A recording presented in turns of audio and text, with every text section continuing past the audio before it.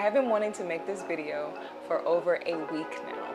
Today finally presented an opportunity for me to carve some time out of the day and tell you all about my Them 909 skates. Before they get all dirty and scuffed up, I wanted to kind of show them to you, do a little bit of an unboxing, so here they are. As a beginner skater, there's a handful of things that you just have to get right. The number one thing is your skates.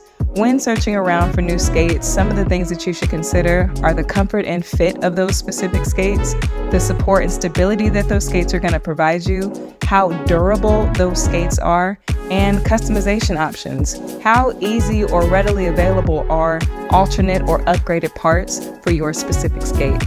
All of these things are what led me to the Them 909 skates with the Intuition liners.